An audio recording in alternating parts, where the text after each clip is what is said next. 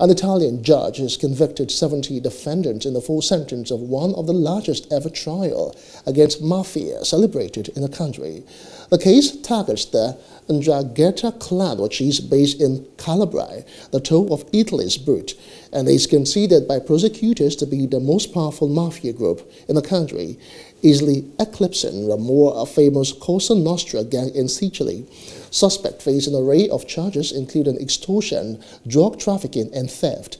The fast-track trial, which allows those convicted to have their sentence reduced by a third, involved 91 defendants.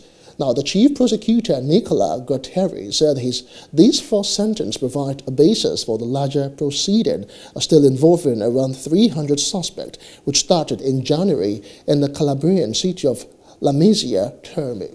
Hello. Hope you enjoyed the news. Please do subscribe to our YouTube channel and don't forget to hit the notification button so you get notified about fresh news updates.